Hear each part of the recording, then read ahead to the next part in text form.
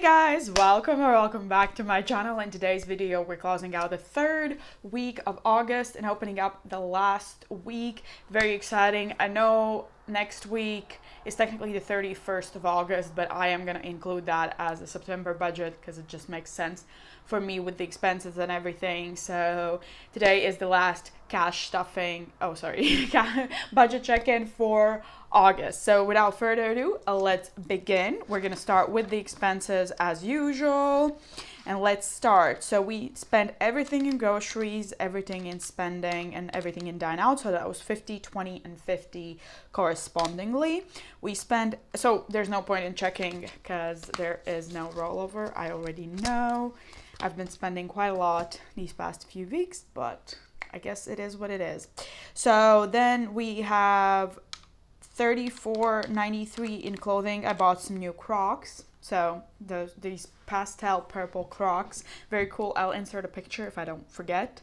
Um, then 1643 and miscellaneous. I had a colleague go on maternity leave, so we bought her a couple of things and Oh, sorry, no, that was IKEA. And then gifts was 1688, which was for the maternity leave. Like we bought her some flowers, some face masks and candy.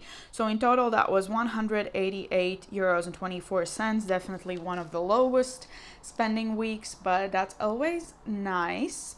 So let's check uh, the actual amount and then set up uh, the budget for next week. So we did have an income of 650, so that's what I'm writing in the actual. We did spend everything in groceries and spending and dine out. So that's 50, 20, and 50 correspondingly once again. So all of the other amounts stay the same. 5 went into gas, 80 in rent, 30 in utilities, 5 in miscellaneous, and 75 in dine um, one month ahead. So let's see what the actual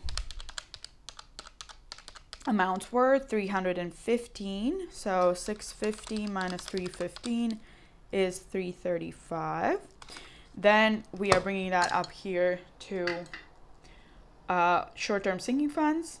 We have beauty getting 40, Christmas got 20, clothing 10, 40 went into health, 5 in holidays, 10 in subscriptions, and 40 in travel. So that was, let's see, 165, perfect. So 335 minus 165, 170. So 170 is going down to long-term sinking funds. We put five into babies, five into car, 50 in deposit, five in pets, retirement, technology, and weddings. So that's five in each of the four categories. So that was 80 euros in total. So 170 minus 80 is 90. Perfect. So the 90 we bring here to the savings challenges. That is what we stuffed in the savings challenges, which means 90 in total. And we have zero euros left over, which means that each euro of our income has a place to go into our budget. Perfect. So that was for week three. Now let's set up week four. So today we will have 655 euros to allocate across our sinking funds and cash envelopes. So we're gonna put, as usual, 50 in groceries, 20 in spending, and 50 in dine out. I'm gonna put nothing in gas this week, 75 in rent, 30 in utilities, 5 in miscellaneous, and 95 in one month ahead.